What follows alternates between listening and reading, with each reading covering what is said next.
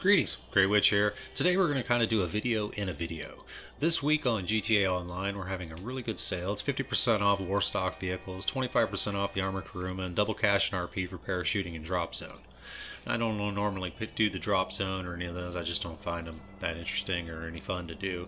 But if this week, you know, make some money and get you the Buzzard or the Armored Kuruma or any of those other vehicles from Warstock, because this is the time to buy them.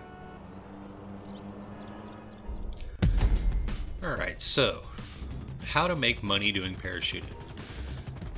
When it's double RP and double cash, this is the perfect time to do this because parachuting is essentially a race.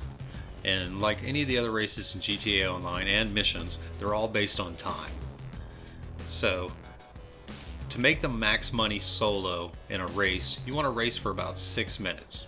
And that's, you know, kind of a little too hard to do in a parachute.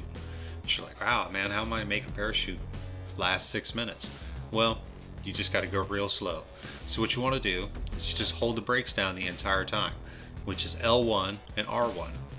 And then you just steer, you know, head for your checkpoints. The way I do it is I don't even look at the circles. I just look at the arrows. And you want to hit the middle of the arrow with the center of your body and line it up like that. And since you're moving slow, it's it's a lot easier to do it.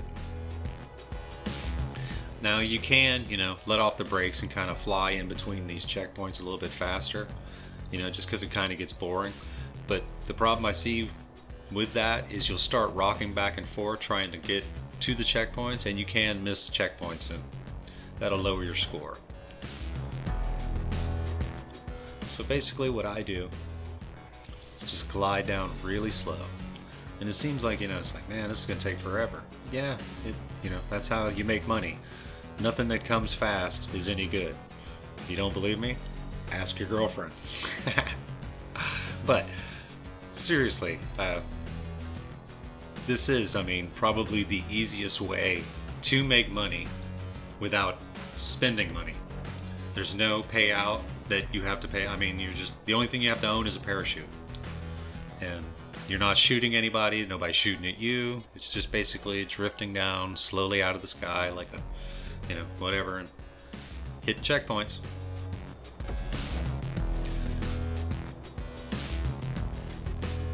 And once you get good at it, you you know, you'll line them up pretty easy. I've gotten to where you know, I can just I don't even have to think about lining them up. I as soon as I see the next checkpoint, I pretty much, you know, know where I need to move to hit the center of the arrow, which is the area that you want to do. Because you get 15 points for the center of the checkpoint, 10 points for the first ring outside, and then 5 points for the outer ring.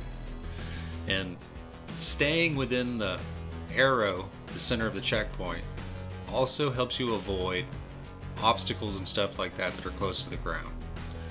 Because once you're doing these in the cities and stuff like that, you have to swing around the buildings. If you hit anything, you've messed up the whole thing, you lose your thing, and so, when you get to these red checkpoints, what you're going to have to do is hit triangle and cut your parachute and then hit your reserve chute once you get down to the next one because this one means that the next checkpoint is real low you know, it's farther down. So once you go through, wait till you turn it over and then just line up your joystick with the next checkpoint. I know you can't see it, but as you get closer and closer, you'll notice, you know, the first part of my knee is getting looks like it's going to hit the checkpoint, and that's when I pull my parachute. And that you know makes sure that I don't pull it too soon or too late, and then I miss the next checkpoint. Now I drifted in kind of fast here, you know, just to make up the time, just so I could start, and then right back to the brakes, and just slowly drift in.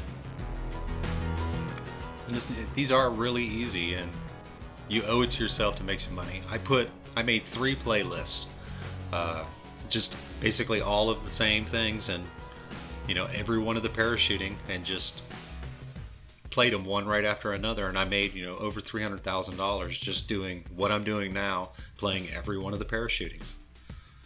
And I unlocked a couple of awards or something. I can't even remember what it was but it was pretty cool. And this is a, like right here. As you're flying down through the trees you definitely want to make sure that you're in the center of the target because if you hit one of these trees it knocks you off the parachute you hit the ground and it's completely over Now as you're coming to the final target, the best way I found to do this is once you pass the first ring, you want to get in real low, and then as soon as you hit the last one, just dump the joystick all the way forward, and you'll stick the landing right there. And 325 points. 5 minutes and 48. Oh, what happened? I didn't get anything?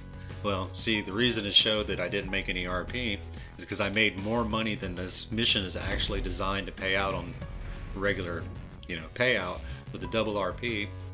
If you look right up there, I actually made 4,000 RP and $12,000, which isn't bad for 5 minutes. So, it's a really cool way to make some quick cash. Alright, well this is Grey Witch, I hope this helps you out, and I'll see you next time. Peace!